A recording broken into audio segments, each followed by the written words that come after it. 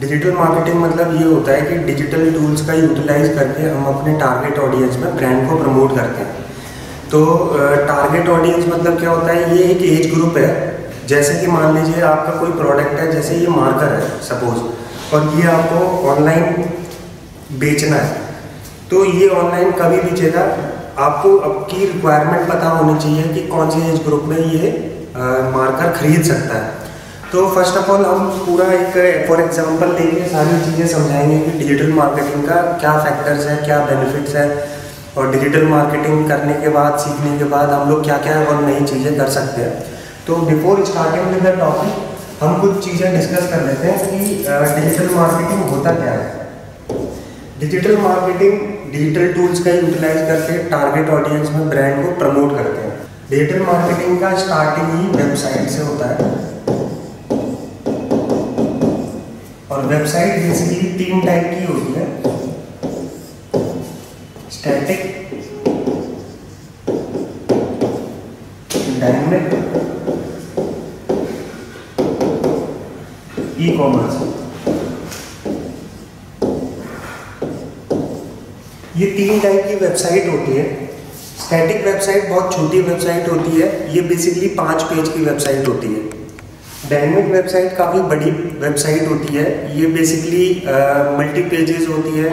इसमें chat bot भी होता है। जैसे लेट से कि कोई यूज़र आता है आपकी वेबसाइट पे लैंड करता है, और वो ये चाहता है कि उसे कुछ इन्फॉर्मेशन पता करनी है। तो चैट बॉट क्या हेल्प करता है?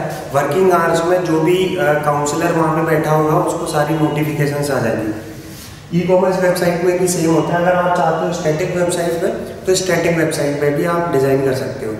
तो पहले हम डिसाइड करते हैं कि ये वेबसाइट किस किस प्लेटफॉर्म पे बनती है। आप एच का वेबसाइट पे यूज़ कर सकते हो पीएचपी का यूज़ कर सकते हो, और आप जूमाला भी यूज़ कर सकते हो, और आप वर्ड भी यूज़ कर सकते हो। इन तीनों में से इजी जो है वो आजकल जो सारी टेक्नोलॉजी यूज़ कर रहे हैं सब लोग ऑनगोइंग प्रोसेस है जल्दी वेबसाइट भी बन जाती है, वो है वर्ड तो हम सबसे पहले वर्ड का डिसाइड करते हैं। वर्ड क्या है? वर्डप्रेस बेसिकली दो प्लेटफॉर्म का यूज़ करके एक कंबाइंड प्लेटफॉर्म बनाया। वो पहला है एसक्यूएल प्लस पीएचपी पीएचपी और एसक्यूएल को जोड़ के तब एक वर्डप्रेस प्लेटफॉर्म डिज़ाइन हुआ। तो हम जो तीनों वेबसाइट बनाएँगे, वो वर्डप्रेस का यूटिलाइज करके तब हम बनाएँगे। तो अगर मैं बात करूँ स्टैटिक वेबसाइट ये छोटी वेबसाइट होती है, पाँच पेज की वेबसाइट होती है। डायनेमिक वेबसाइट काफ़ी बड़ी वेबसाइट होती है, और ई कॉमर्स जो वेबसाइट है, वो प्रोडक्ट बेस्ड होती है। तो इन वेबसाइट को बनाने के बाद आप इजीली क्या कर सकते हो पार्ट टाइम में इनकम भी कर सकते हो वेबसाइट बना बना के। तो स्टैटिक वेबसाइट की बात करूँ तो ये वर्ड प्रेस पे इजीली डेवलप हो जाती है। सेम केस तीनों के लिए अब स्टैटिक वेबसाइट बनाने के बाद आप करोगे क्या? आप इसको ऑनलाइन सेल कर सकते हो। ऑनलाइन कैसे? जैसे आप फ्रीलांसर पे अपनी आईडी बना लो अपवर्क पे अपनी आईडी बना लो ई कॉमर्स में अपनी आईडी बना लो तो इन तीनों प्लेटफॉर्म का आप यूज़ करके आप डिज़ाइन कर सकते हो website so dynamic if I am talking about dynamic then dynamic is totally uh, multi-page website and uh, there is in there.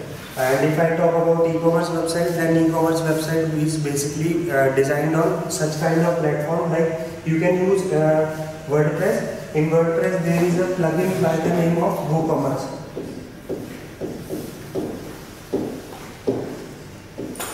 So WooCommerce is especially designed for e-commerce only, and uh, you can use directly a product page on that. So let's say if I want to sell this pen, so if you are selling this pen then you have to make a product page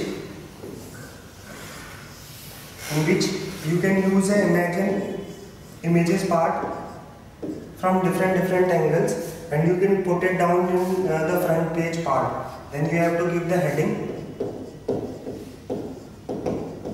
After that you have to uh, enter the rate of this uh, marker and you have to enter the buy cart if uh, the user is directly landing to your product page then you can use by cart and uh, description are given on the blue part of this footer part. So uh, this page is specially designed on WooCommerce and WooCommerce is available free of cost on WordPress. So WordPress is basically what? WordPress is a combined platform of SQL as well as PHP. So uh, you can easily design your WooCommerce website on this part. So before starting uh, on this topic, I want to tell you that these topics, if you learn, then you can directly earn from this website also by selling online as well as offline. Let's say, what is the difference between online and offline? Online means you have to make ID on Freelancer, Upwork and Guru.com, Elance.com. You can directly use that platform and you can make your profile on these platforms. After that, you have to bid on uh, projects. So uh, the client or the user who want to uh, design their uh, website, they will directly land to your uh, product page uh, or their your profile. And after that, while seeing your profile, they will they will chat on that. And if they understand your uh, like uh, designing content, then they, they will directly uh, talk to you about the, uh, the price of the website as well as uh, like what kind of offer you are bidding on. Second one is offline. Offline means that you have to visit to the clients like आप directly जा सकते हो किसी platform पे और वहाँ पे आप बता सकते हो कि मैं वेबसाइट एक डिज़ाइनर हूँ और वेबसाइट डिज़ाइनर के साथ साथ आप उनको ये भी बता सकते हो कि मैं एक वेबसाइट डेवलपर हूँ और आपकी मैं वेबसाइट बना सकता हूँ। So there are three platforms in which you can directly earn while while learning